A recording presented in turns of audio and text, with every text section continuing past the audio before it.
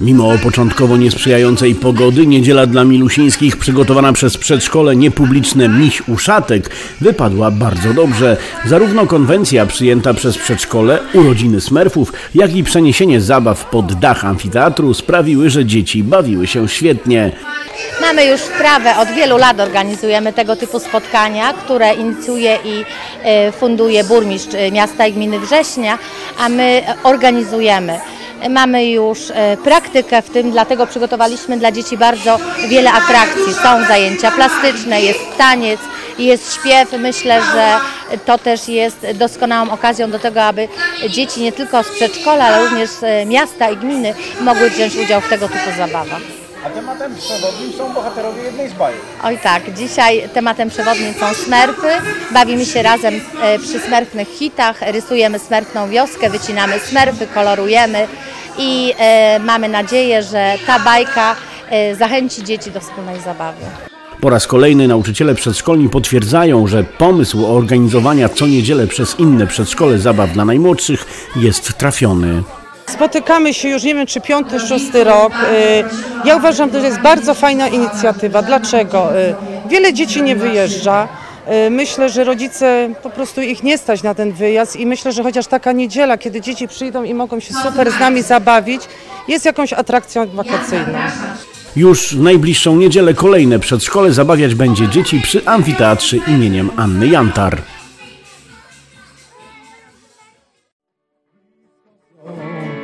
W ostatnią niedzielę czerwca wrzesiński ratusz zajechał ze swoją ofertą kulturalno-rozrywkową do Psar Małych.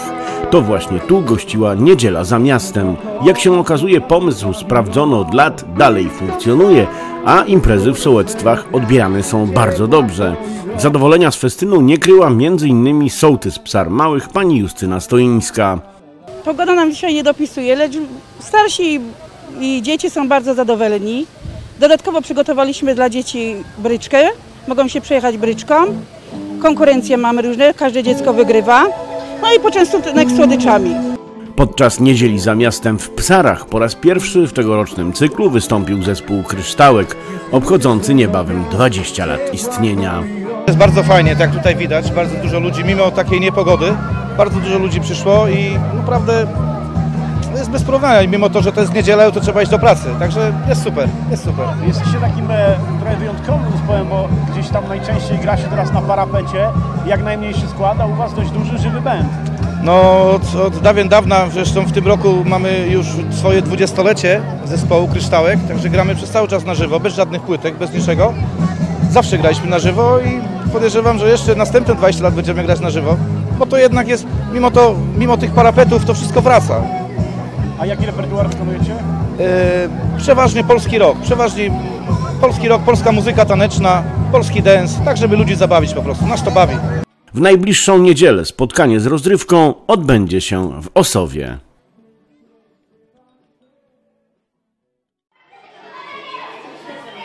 Oferta wakacyjna Wrzesińskiego Ośrodka Kultury cieszy się ogromnym zainteresowaniem. Zajęcia przede wszystkim artystyczne podzielono na poszczególne bloki tematyczne. Są więc warsztaty taneczne, modelarskie, wokalne, ale też bajkowe przygody. Największe oblężenie towarzyszy jednak zajęciom plastycznym. Z roku na rok dzieci przybywa. E, zawsze jest to dla nas duże zaskoczenie, że aż tyle dzieci przychodzi, ponieważ poprzedniego dnia było 15 osób. E, z reguły przygotowujemy się na około 50 e, do 60 nawet niekiedy. Recepta. E, Musimy tak organizować zajęcia, żeby przewidzieć przerwę, e, czas na właśnie wybieganie się, na zjedzenie jakiegoś e, posiłku. Pierwsze zajęcia są z reguły takimi zajęciami właśnie, kiedy wyczuwamy, jakie dzieci w jakim wieku do nas zechcą przychodzić.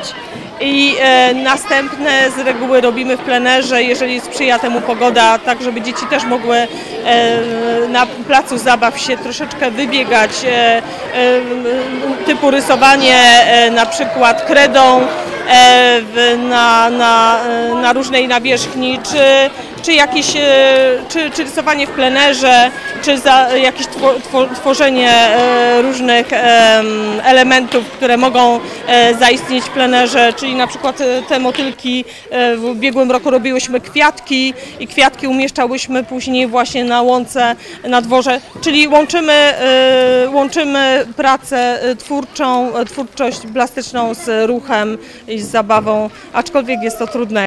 Blisko 70 dzieci, dwie sprawne instruktorki plastyczne i kilka osób do pomocy wydawałoby się, że faktycznie niewiele da się zrobić w takim gwarze, a jednak kolorowe motyle robią wrażenie. Dzisiaj dzieci robią najpiękniejsze motyle świata. Wykonują te motyle techniką różnorodną, i wydzieranką, i wycinanką, i jednocześnie mogą też e, techniką rysunkową, ponieważ malują pastelami. I tutaj mają różne możliwości wykazania się kreatywnością, ponieważ e, wzory, które są przez nich tutaj interpretowane, mają tutaj zupełną dowolność. No jak widać są piękne, kolorowe, czyli cieszą się z tego, że są wakacje, no i prace fantastycznie wychodzą. Zajęcia odbywać się będą do końca wakacji w poniedziałki, wtorki i środy. Szczegóły na stronie wogwrześnia.pl.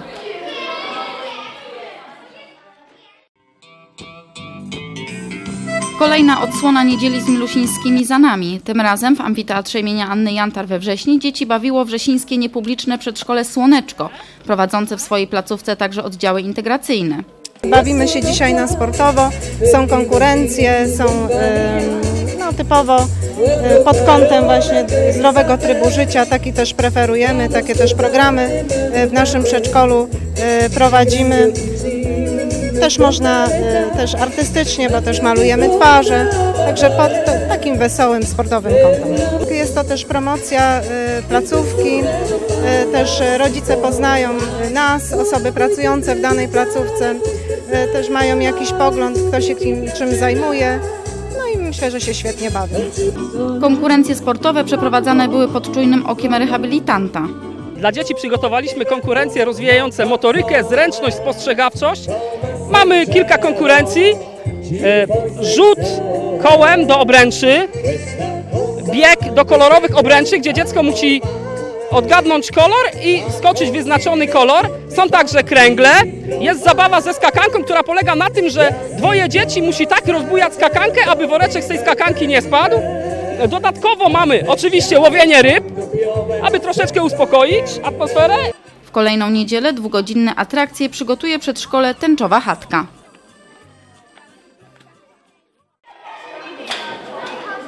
We Wrzesińskim Ośrodku Kultury trwają wakacyjne zajęcia dla najmłodszych.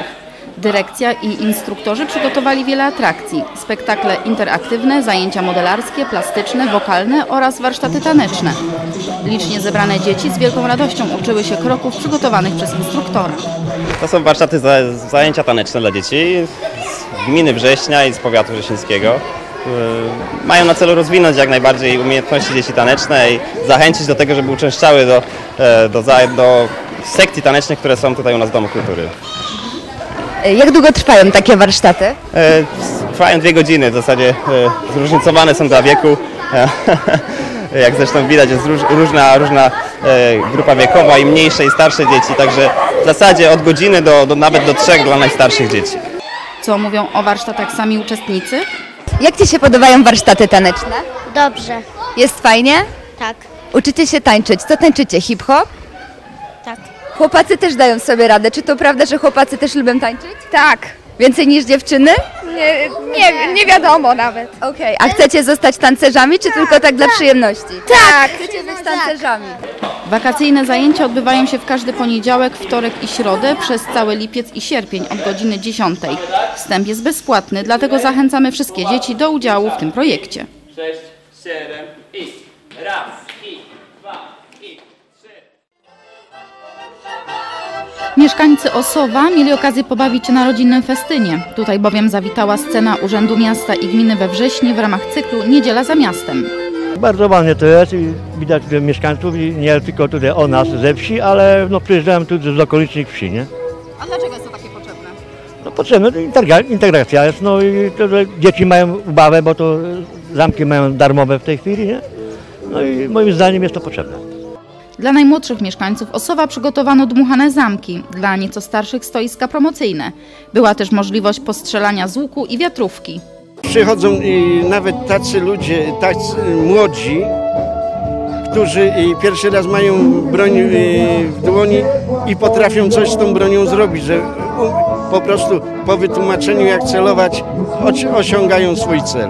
Także nie jest źle. Chętni, którzy chcieliby częściej korzystać ze strzelnicy, mogą skorzystać z wakacyjnej oferty loku. U nas y, na terenie loku w poniedziałki, wtorki i środy od godziny 10 i do 13 są organizowane właśnie mm, cykl takich imprez, co mamy wewnątrz. Strzelanie, y, tenis stołowy, gry i zabawy. Mamy y, animatorów, którzy tam dbają nad bezpieczeństwem podczas tych zajęć. Oprawę muzyczną podczas festynu zapewnił zespół Ziemia Wrzesińska oraz Kryształek.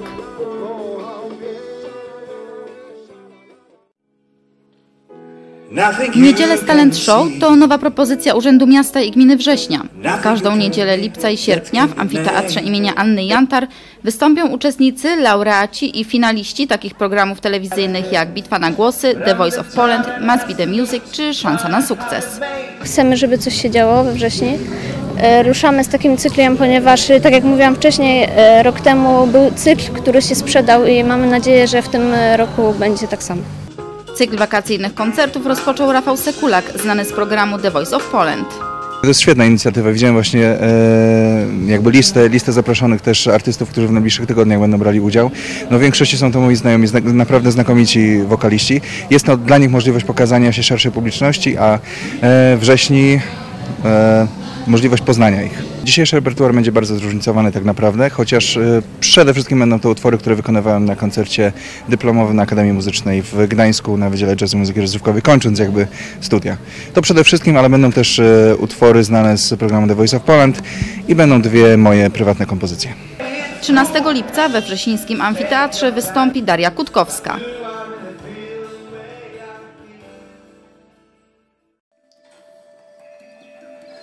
Wrzesiński Ośrodek Kultury przygotował bogatą ofertę dla najmłodszych na całe wakacje.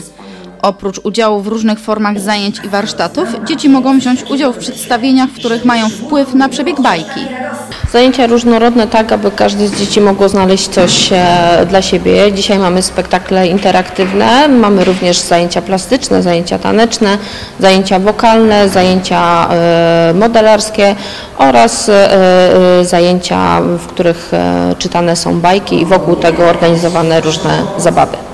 Przed dziecięcą publicznością we wrześniu wystąpił m.in. Teatr Bez Wad z Poznania z opowieścią.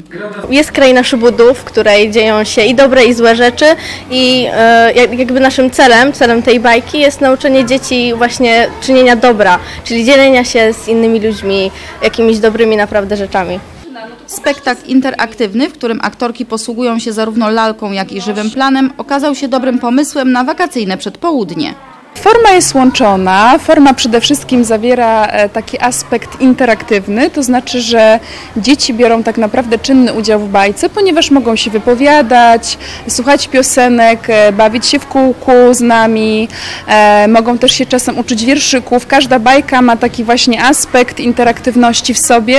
Są oczywiście laleczki, ale są też rozmowy z aktorami właśnie o tym, co się w bajce wydarzyło, jak dana postać postępuje, czy to jest dobre postępowanie, czy złe. Właśnie ten aspekt dydaktyczny jest dla nas bardzo ważny, żeby dzieci e, miały takie poczucie, że uczestniczą w czymś, co z jednej strony jest atrakcyjne dla nich, barwne, kolorowe, ciekawe, e, żeby fajnie spędzały ten czas w wakacje, e, ale również mogły się czegoś ciekawego nauczyć dzięki takim właśnie bajkom. Myślę, że to jest forma o tyle ciekawa, że w tej chwili dzieci są takie, że ciężko skupić ich uwagę, a dzięki temu, że właśnie dajemy im możliwość wyboru, atrakcyjności, bo są różne formy, to wtedy e, dzieci są bardziej zainteresowane tą bajką. Takie przynajmniej są nasze doświadczenia. Kolejne zajęcia z cyklu Zdecydujcie o tej bajce już 22 lipca. Informacje o szczegółach oferty wakacyjnej WOK znajdą Państwo na stronie www.wok.września.pl.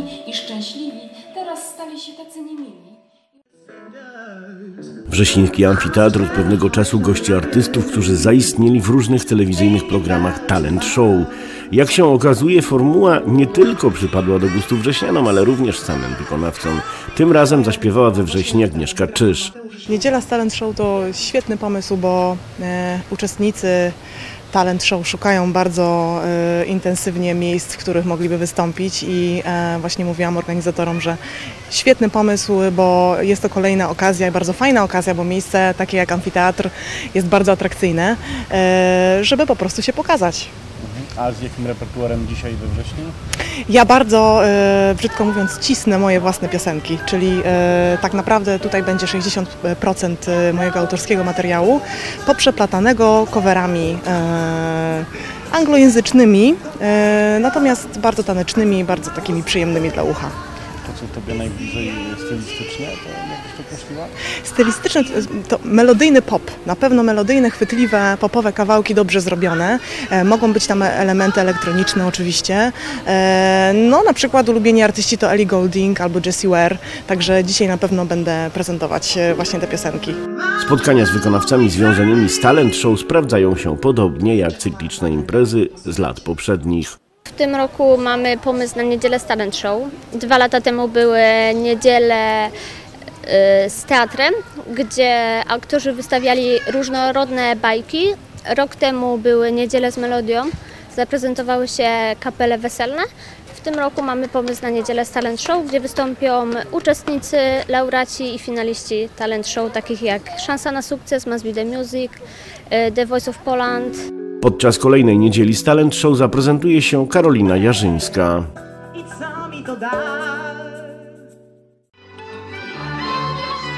Po raz kolejny wrzesińska akcja Niedziela za miastem bawiła mieszkańców gminy. Tym razem artyści przyjechali do Słomowa, by ku zadowoleniu mieszkańców dać rolnikom trochę zabawy przed żniwami. To jest jednak trochę rozrywki, a tym bardziej teraz inna orkiestra, pozbijali trochę, czyli jest trochę atrakcji. Taka przerwa w żniwach, czy jeszcze przed żniwami? A to tak jest akurat przed żniwami, tak dzisiaj jest. Podejrzewam, że poniedziałek już ruszą na dobre teraz. Czyli ostatnia okazja, żeby się zabawić. Oczywiście, że tak. Wśród wykonawców na scenie pojawił się zespół Kryształek, który niebawem świętował będzie swoje dwudziestolecie istnienia. Jest taka fajna cykliczna, cykliczność taka tego przedsięwzięcia, że zawsze co niedzielę jest zajęcie i to jest chyba w tym takie fajne, bo jesteśmy y, zobligowani do tego, żeby co niedzielę się, że tak powiem, umuzycznić. Ale też jakby niedługo Wasz jubileusz, jak to będzie wyglądało? No, to jest ciekawa sprawa. 20 lat e, funkcjonowania jako ten zespół. E, dlatego, dlaczego 20 lat? Bo 25 moglibyśmy nie dotrwać. I lepiej te 20 zrobić, póki, póki siła jest. Y, organizmy póki zdrowe jeszcze. No, trochę się pograło, to fakt. A ten jubileusz kiedy i gdzie? 9, y, 9 sierpnia rynek września. E, Zapraszamy serdecznie wszystkich, którzy, którzy chcą się tam z nami spotkać, to bardzo będą mile widziani. Upał nie przeszkodził mieszkańcom Słomowa w dobrej zabawie.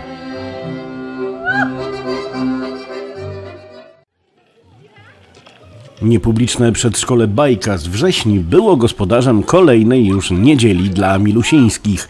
Bańki mydlane, duże i małe, zabawy i piosenki to tylko niektóre atrakcje przygotowane na to spotkanie z najmłodszymi tuż za amfiteatrem imieniem Anny Jantar. Dla naszych dzieci uszykowaliśmy dzisiaj wiele atrakcji, od baniek dużych i małych, malowanie kredą, wspólne zabawy zbliżające rodziców i dzieci przede wszystkim do tej wspólnej zabawy, więc e, akcje typu e, serca, będziemy rysować wielkie serca, dzieci będą chciały zaprosić rodziców, żeby mogły wspólnie razem to robić. Będziemy malować buźki dzieciom i wszystko to, co dzieci kochają, tak? Czyli zabawa z animatorami. Jeśli troszeczkę cienia będzie, to Dinuś do nas przyjdzie, bo słońce piękne, ale też dzieci ściągnęliśmy trochę w cień, żeby im nie grzało. Także tutaj wiele atrakcji uszykowaliśmy przeciągane liny, jakieś takie wspólne rywalizacje, zabawy, konkursy, ale wszyscy nagrodzeni, bez wyróżnienia oczywiście, żeby to była typowa integracja. E, No piknik, tak jak sama nazwa wskazuje, milusińscy dzieci i rodzice. Kadra przedszkola chętnie włącza się w niedzielę dla milusińskich. I myślę, że to jest dobra sprawa. Dzieci mają możliwość e, pobawienia się, poznania innych też przedszkoli, jak się w ogóle możemy bawić, zachęcenia do różnych przedszkoli. em, Pobawić się mogą z innymi dziećmi, taka integracja jest wspólna. Myślę, że to jest świetna sprawa. Myślę, że jako nauczyciele też macie szansę się pokazać tutaj. Myślę, że też w pewnym sensie, bo też zachęcamy innych i rodzice na nas też patrzą i też widzą e, to, jak my w pewnym sensie też pracujemy z dziećmi w przedszkolu. To jest na takiej podobnej zasadzie. E, Też wszystko jest poprzez zabawę, wiadomo, bo zależy od wieku dzieci też i myślę, że, że to też jest w jakimś sensie taka właśnie e, promocja nasza też. Zdaniem szefowej przedszkola Bajka, niedzielne spotkania z dziećmi i rodzicami w parku to dobry pomysł. Chcemy dzieciom pokazać wspólną zabawę, jak integrować e, dzieci wraz z rodzicami, czyli puszczamy banieczki, malujemy razem, malujemy buziaczki, przyciągamy linę, różne są gry, konkursy, zabawy takie sprawnościowe, do których zachęcamy rodziców, aby wzięli udział. Będziemy e, także zapraszać naszą maskotę Dinusia, która dotrze do nas, jak tylko cień e, zawitał nas. Zapraszamy także do wspólnego malowania kredą, do różnych takich no, zajęć przede wszystkim sprawnościowych i umilających tą niedzielną, piękną pogodę. Jako szefowa placówki, jak Pani patrzy w ogóle na tą inicjatywę, czy to jest dobra rzecz? To jest bardzo fajna rzecz. W końcu się coś wyrześni, że tak powiem, dzieje fantastycznie. E, Przedszkola mają okazję przedstawić się, wyjść na zewnątrz. E, Dzieci mają miejsce, gdzie mogą troszeczkę co, czegoś innego użyć. Piękna pogoda, mogą się pobawić, wybiegać, e, wylatać. Kolejna niedziela dla milusińskich we wrześniu już w najbliższą niedzielę.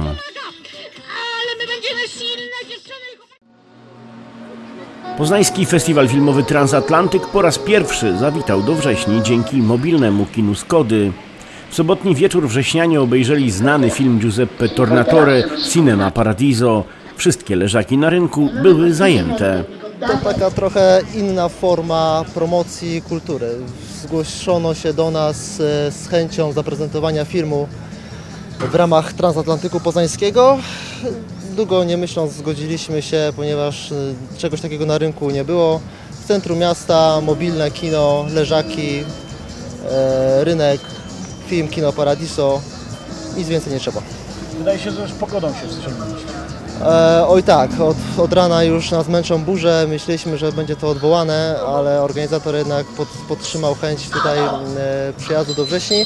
I jak widać się opłaciło, pogoda dopisuje, jest trochę może chłodno, ale myślę, że się uda. Mobilne kino Skody, które zawitało również do Gniezna, wpisało się w wydarzenia dużego poznańskiego festiwalu. To mobilne kino Skody z filmem e, Cinema Paradiso. E, Jest to włoski film e, w tłumaczeniu e, Boski Raj. Nie wiem. Czy w ogóle to, to mobilne kino jest dobrze przyjmowane? Raczej tak, raczej pozytywne opinie pochodzą z... Kompletnie? Ciężko powiedzieć, ale raczej tak. Wrzesiński pokaz plenerowy został bardzo dobrze przyjęty. Przypomnijmy, poznański festiwal rusza już 8 sierpnia.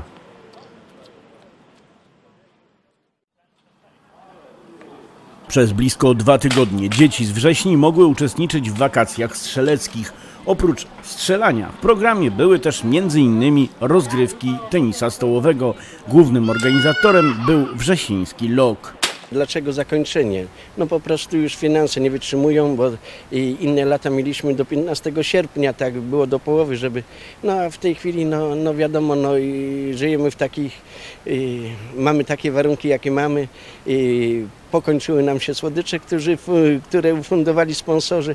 No i po prostu no, musimy, musimy kończyć, nie? No bo ja tutaj zatrudniam, y, to znaczy jest tutaj niby y, charytatywnie y, pięć osób, nie? No, dostaną jakieś tam drobne, naprawdę bardzo drobne pieniążki, no a później też zaczynają się wyjazdy, zaczynają się, już koledzy też wyjeżdżają na wakacje. Ja też zresztą byłem, w trakcie tego byłem w Rosji, bardzo niemiłe wspomnienia, ale mniejsza z tym, teraz koledzy i koleżanki chcą wyjechać sobie już dalej i odpoczywać.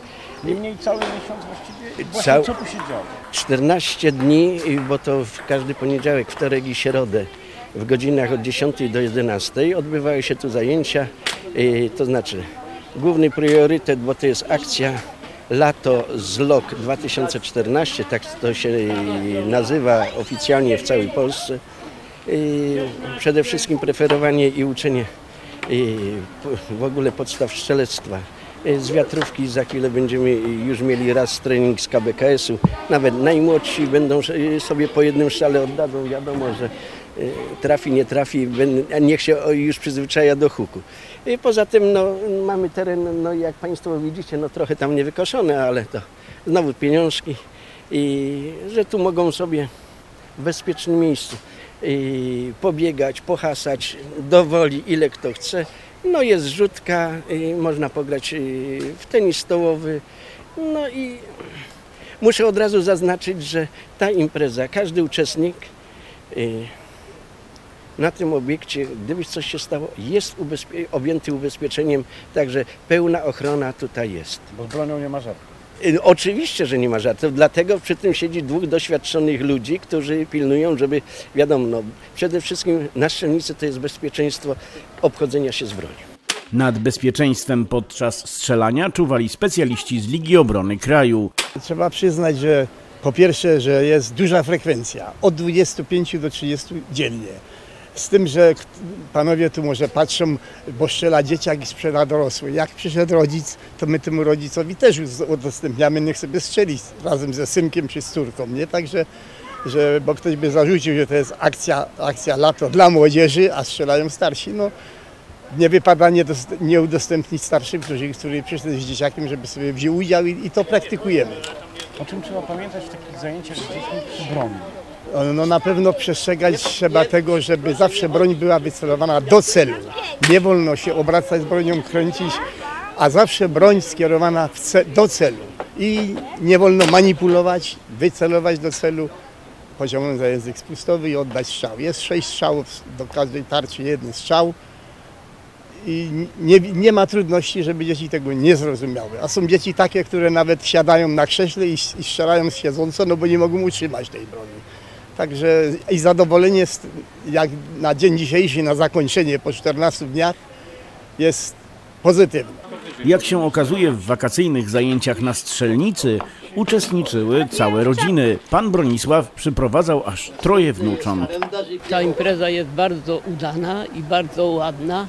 Co, co, co trzeci dzień, poniedziałki, wtorki i środy odbywają się tutaj różne konkurencje. Strzelanie z wiatrówki, strzelanie do tarczy z lotek, tenis stołowy, piłka nożna, różne atrakcje, są zabawy, są posiłki regeneracyjne w międzyczasie podawane przez tu organizatorów i y, co, co tr- trzeci dzień, jak wspomniałem, przyjeżdżam z wnukami. Przedsięwzięcie Loku spotkało się ze wsparciem Starostwa Wrzesińskiego, Urzędu Miasta i Gminy Września oraz prywatnych darczyńców. Dlatego, że lubię dzieci. Z uwagi na to, że sam mam wnuków, dwójkę, chociaż są bardzo malutcy, jeszcze nie dorośli do, do takiej imprezy, jak tu się obecnie odbywa. I wspieram ich od kilku, kilkunastu lat. Latem i zimą. Choć w tym roku wakacje na strzelnicy nieco krótsze, to jednak te dzieci, które wzięły w nich udział, mogły być zadowolone. Każdy dostanie, każdy sobie Jedną z wielu form zajęć wakacyjnych, jakie przygotował Wrzesiński Ośrodek Kultury, są warsztaty wokalne. Dzieci miały okazję pod okiem trener wokalnej Joanny Dolaty, uczestniczki jednego z telewizyjnych talent show, poznać podstawy umiejętności potrzebnych do dobrego śpiewania. Jak się okazuje, śpiewać każdy może, ale nie jest to takie proste. Zajęcia wokalne polegają na mm, przygotowaniu dzieci do, do śpiewania, w ogóle, żeby zrozumiały, czym jest śpiewanie, jakie elementy wchodzą w ogóle e, w to zagadnienie, czyli oddech, artykulacja, dykcja. No wiadomo, że to jest proces, e, nauka śpiewu, ale mam nadzieję, że chociaż takie no, te pierwsze kroki stawimy tutaj razem sobie. Czyli wakacje mogą być początkiem. Oczywiście, oczywiście jak najbardziej. Dobrym startem.